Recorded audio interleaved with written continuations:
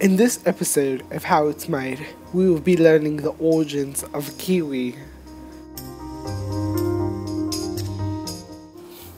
Contrary to popular belief, kiwi is not a fruit. It's a variation similar to sausage.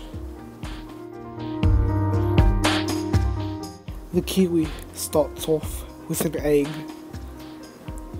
as it catches its first glimpse of life it cannot prepare for its inevitable fate.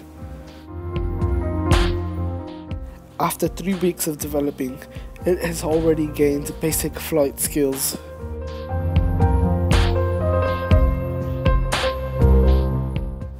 Once the kiwi is fully mature, it is ready for the next step in the process.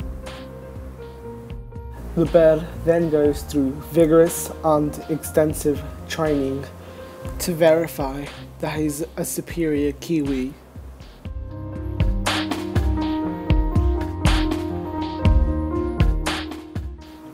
The kiwi are then ground up and formed into a malleable paste. It is at this point that the fruit essence is mixed in, giving it an old odor and a bitter taste.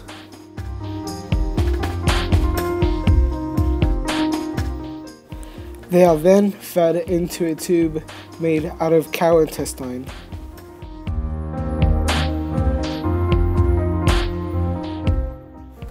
The hair around the kiwi is called quadderm and is caused through the fermentation process.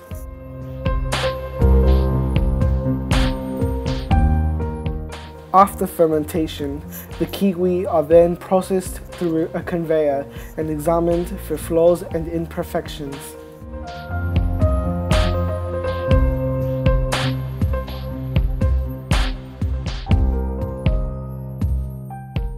The kiwi are then ready to be enjoyed.